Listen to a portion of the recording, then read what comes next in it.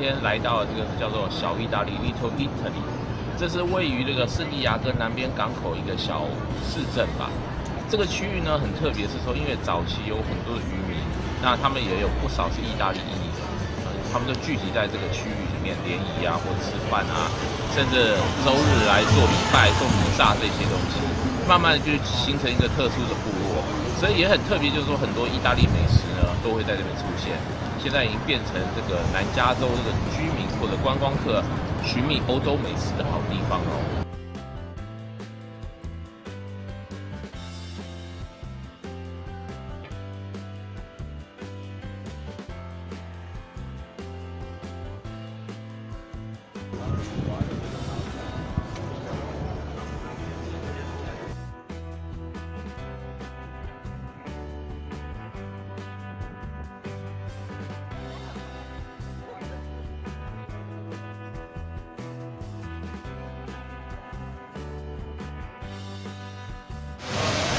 来到了 Little Italy，看到这么多餐厅，我们到底要选哪一间呢？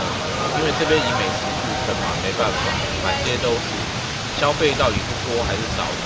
打开菜单才知道。对于这些新来的菜鸟，我可以给你们建议，因为我看到 Little Italy 这个铺货，它里面有集结六家蛮道地的地方餐厅，然后价钱也是很公开透明。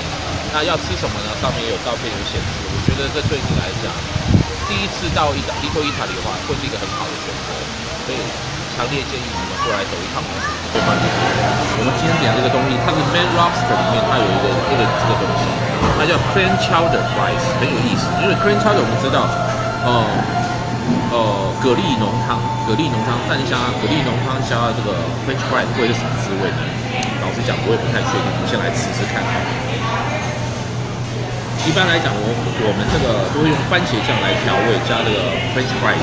那它这个是用蛤蜊浓汤，还有加一点那个 bacon，就是那个培根这样调味的。哦，好吃哎，真的好吃哎！不知道特色在哪里？它不是只有一个一个咸味而已，它本身还有综合的海鲜的这个香味，非常香浓，再加上培根的这个口感。这让这个简单的这个薯条呢，变得更有层次，味道变得很丰富。哇，你看看这，哇，实在是太好吃了。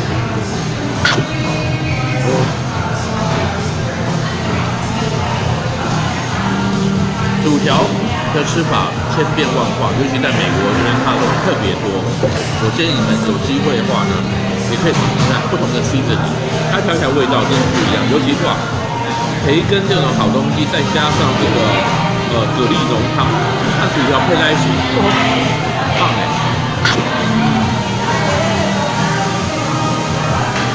停不下来了，停不下来了。好吃。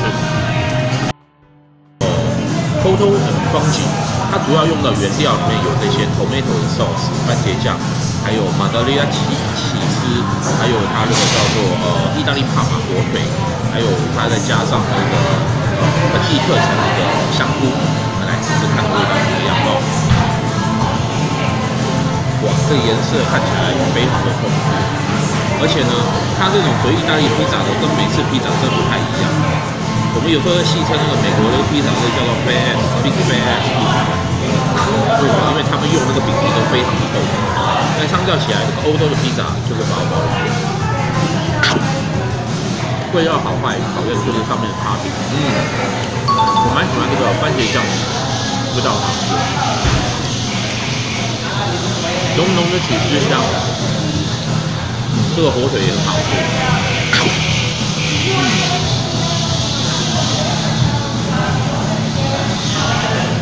一口接一口停不下来。地方的素材加上意大利的口味，我觉得这真是很完美。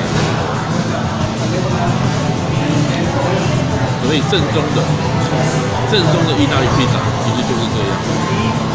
所以千万不要下次去吃披萨哈，还在吃什么保密的，我们说吃意大利披萨。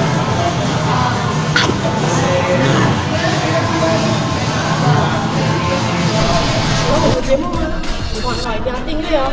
我们的 Facebook、YouTube 还有微博上面都找到我们哦。